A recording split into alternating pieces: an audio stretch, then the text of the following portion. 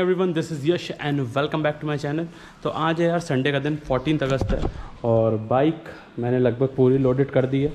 क्योंकि मैं अभी जा रहा हूँ कानपुर, क्योंकि यार बाइक की सर्विस करानी हो। फिफ्टीन अगस्त आ रहा है तो भाई जो इंडी सेवेंटी फिफ्थ इंडिपेंडेंस डे है हमारा तो उसकी जो राइड है, वो भी होनी है।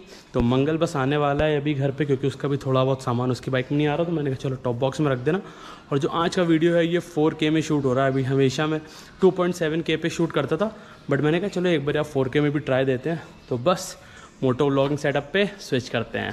तो वैसे तो यार हम लोगों को निकलना था सुबह लगभग साढ़े सात, आठ बजे, क्योंकि ये था कि भाई टाइम से पहुँच जाते सर्विस करवा लेते, क्योंकि भाई संस्कार से आने के बाद ना अभी तक भाई बाइक की सर्विस तो हुई नहीं है।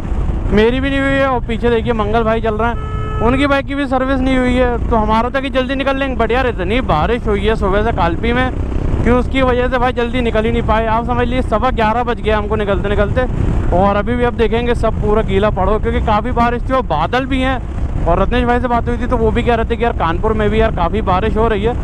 लेकिन हमने बात कर ली है रॉयल एनफील्ड में मैंने कहा, भाई, ऐसा ना हो, पता चला कालपी से जाए, वहाँ जाके कहा कि, भाई, आज के जितने अपॉइंटमेंट तो हो गए, अब कल कराना सर्विस तो यार, ये पहला ऐसा साल है ना मतलब सच बता रहा हूँ, इतने तिरंगे मैंने किसी भी साल रिपब्लिक डे इंडिपेंडेंस डे पे नहीं देखे हैं, जितने मैंने इस साल देखे हैं। सामने भी देखिए भाई, आपको बड़ा एक तिरंगा है, दो यहाँ लगे हैं। और आप देखेंगे तो हर टोल बूथ पे ना भाई एक एक तिरंगा लगा हुआ है।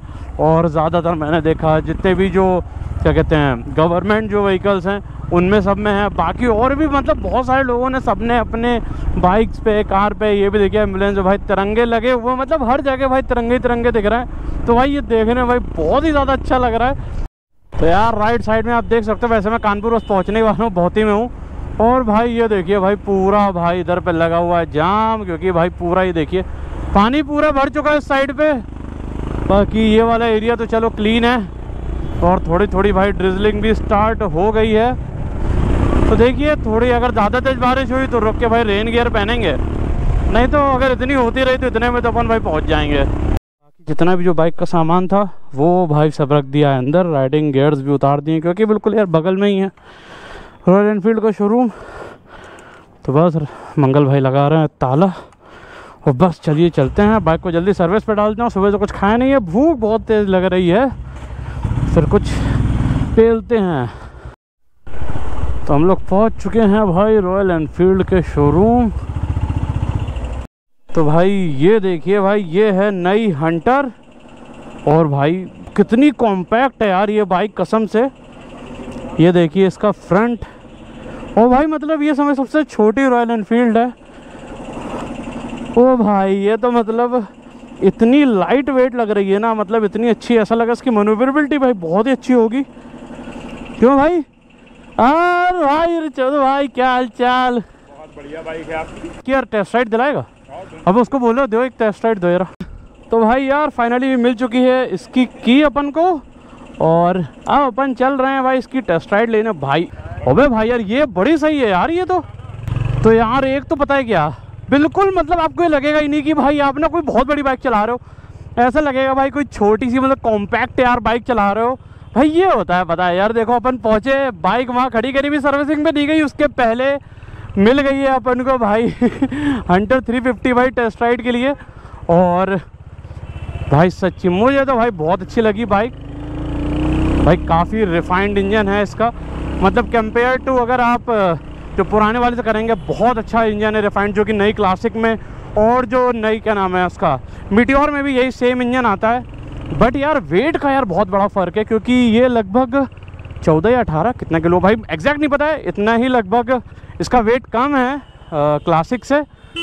तो मतलब अगर बाइक्स की अगर उसमें लाइफ में देखा जाए तो भाई इतना वेट यार काफ़ी होता है और भाई काफ़ी क्विक भी है ये।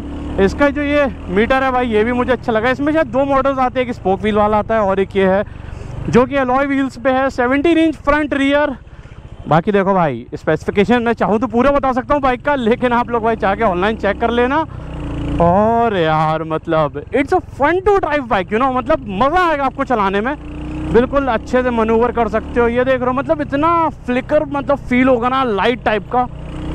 मतलब बहुत ही बढ़िया। ब्रेकिंग की भी अगर बात करूँ ना भाई, बहुत क्रिस्प है ब्रेकिंग मतलब इतनी अच्छी, मेरी हिमालयन में तो नहीं है, मैं सच बता सकता हूँ। ऐसी ब्रेकिंग तो उसमें नहीं है। अगर ऐसी ब्रेकिंग आ जाए तो हिमालयन भाई मेरी और भी ज़्यादा बढ़िया हो जाएगी। और भाई दो बाइक वाले निकल गए और हो सकता है शायद मैं इनको जानता हूँ। मतलब अगर आप ये देखो ओवरटेकिंग वगैरह में भी ना, भाई कोई दिक्कत नहीं आने वाली है, आपको सच बता रहा हूँ। और पता है, मेरा मन भी था यार कि यार इस बाइक की ना टेस्ट राइड लेनी है। ऐसा मतलब वो क्लासिक वगैरह भी आई थी नहीं मैंने लेकिन उसकी टेस्ट राइड नहीं ली, क्योंकि भाई मेरा उस तरीके से मन ही नहीं हुआ था। बट इस बाइक के लिए ना भाई काफ़ी ज़्यादा मन था और ये सिटी में चलाने के लिए ऐसे मेरी हिमालयन है। अब मैं अगर सिटी वगैरह में चलाता हूँ तो थोड़ी सी बात, देखो ऑब्वियस सी बात है, दिक्कत होती है, क्योंकि भाई काफ़ी बड़ी बाइक है कंपेयर टू इसके। तो ये ऐसी है कि इसको आप लॉन्ग राइड्स पे भी लेके जा सकते हो, भाई लद्दाख लद्दाख मस्त लेके जाओ। अभी मैंने देखा न्यूज़ में कि एक बाइक भाई लद्दाख हो भी आई है वाली। तो इसको मतलब आप लद्दाख में भी लेके जा सकते हो, और अगर आपको मतलब अगर सिटी में भी चलाना है ना भाई मतलब मेरे हिसाब से ना भाई बेस्ट ऑप्शन है। अगर आपको रॉयल एनफील्ड में जाना so this is the best option for you मतलब सच में भाई, बहुत प्यारी बाइक है।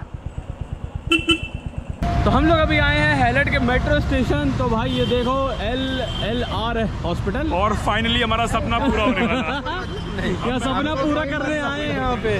भाई अभी तक हम लोग मेट्रो में एक भी बार नहीं बैठे थे तो इस बार हुआ कि चलो यार मेट्रो में बैठेंगे। बाइक पहली बार मेट्रो में बैठने जा बताओ ये लोग तो कानपुर में रहते तो नहीं बैठ पाए। चलेंगे और मंगल पैदल जाएँगे एस्केलेटर एस्केलेटर भैया अरे पकड़ लीजिएगा पकड़ लीजिएगा भैया हमें। एस्केलेटर अरे। भैया पकड़ लीजिए। एस्केलेटर आराम से आओ। तो भाई मैं भी तो भाई मैं भी अभी तक यार यहाँ पे कानपुर मेट्रो में नहीं बैठा था। बाइक हमारी वहाँ सामने पार्क है बाकी हम लोग जा रहे हैं। तो भाई अब देखते टिकट कहाँ तक का लेना क्यों कहाँ तक चलोगे? अंतिम छोड़ अंतिम छोड़ तक? भाई बिल्कुल खाली पड़ा है। तो भाई फाइनली हम लोगों ने टिकट ले लिया है और ये हैं हमारे टिकट्स जो कि वन ट्वेंटी रुपीज़ चार लोगों के लिए लगे हैं। आई आई टी का टिकट सपनों का टिकट। तो हैलेट से लेकर आई तक के एक सौ बीस रुपये लगे हैं चार लोगों के। और भाई बिल्कुल सन्नाटा है। मतलब बिल्कुल ही भाई यहाँ पे सन्नाटा है, अगर आप देखेंगे तो सिर्फ़ जो गार्ड्स वगैरह हैं, वही अकेले बाकी पूरा का पूरा जो स्टेशन है, वो खाली पड़ा है। वो देखिए, सामने देखिए मेट्रो एक आ भी रही है। ये एक मेट्रो यहाँ पे आ चुकी है। तो ये जा रही है उस साइड पे लेकिन हमारी जो मेट्रो है वो इस साइड से आएगी जो कि हमको आईआईटी साइड पे लेके जाएगी। बाकी यहाँ की मेट्रो भी भाई देखिए खाली टाइप की हैं। ऐसी कोई भरी नहीं। इसी से जाएगी इसी से जाएगी। तो भाई थोड़ी सी देरी वेट करने के बाद और भाई जो हमारी जो मेट्रो है वो आ चुकी है। और बस मोती झील वो सामने दिख रहा है वहाँ पे वो लास्ट स्टॉप है। कहाँ पे घुसा जाए? सबसे पीछे घुसोगे इधर घुसोगे? टोटली वेस्ट ऑफ़ ये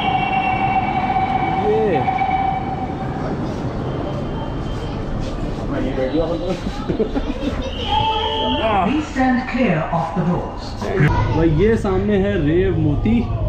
हम लोग पहुँच चुके हैं भाई रावतपुर क्रॉसिंग पे।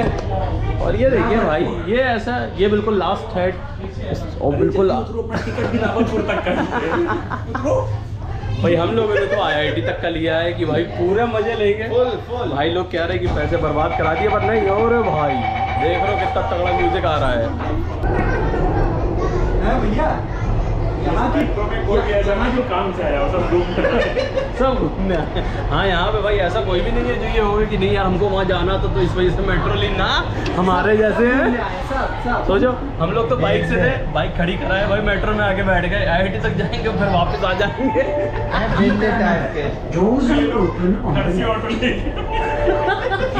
भाई वो सामने देखो आपको पटरियाँ टाइप की भाई दिख रही है वो है कानपुर। प्रोजेक्ट मेट्रो प्रोजेक्ट यहाँ पे भाई यहाँ से जाती है मेट्रो और उसके बाद बन किया नहीं भाई धुल के आती है। वहाँ धुल इधर ही है। तो हम लोग यार वापस उतर चुके हैं। हम लोग का था लास्ट स्टेशन आईआईटी कानपुर अभी जा रहे हैं केरला कैफ़े क्योंकि कुछ ठूसे के जाके भाई भूख लग रही है हमको। और बाइक्स वगैरह तो सब वहीं पे खड़ी है चलते हैं ठूसते हैं फिर वापस चलेंगे।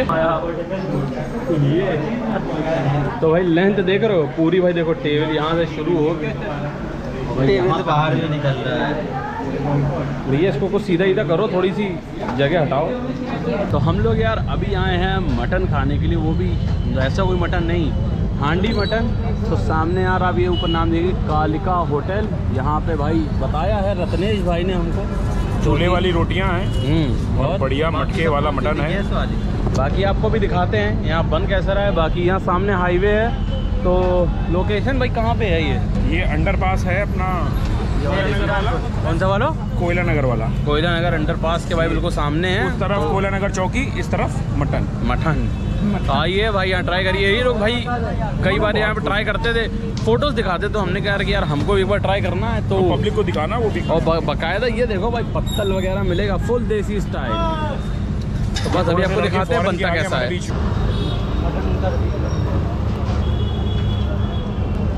तो ये है चंपारण मटन। मन थोड़ा सा फ्लैश ज़्यादा ऑन कर। तो भाई ये देखो। आहा। यही वाला पीस है मेरे क्या बात है कौन सा वाला पीस दे दे? यही वाला दे। ये वाला। भाई पीस आ चुका बढ़िया वाला। देखो पीस मारते रहो नहीं तो भाई दूसरा कोई मार ले जाएगा। चम्मन लाओ यार। देखो रखो पहले वो तो ग्रेवी तो डालो। भाई इतना सही टेस्ट है ना भाई मैं सच बता रहा हूँ। मतलब मज़ा आ गया भाई सही में खा क्यों मनो।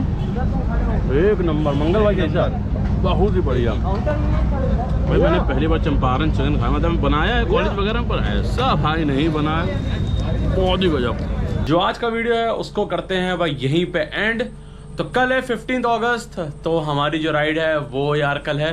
तो नेक्स्ट ब्लॉग यार ज़रूर देखना। और ये वाला वीडियो अगर पसंद आया तो प्लीज़ इसको लाइक करना कमेंट करना। अगर चैनल को सब्सक्राइब नहीं किया तो प्लीज़ सब्सक्राइब कर लेना so life is short the world is wide happiness is riding my bike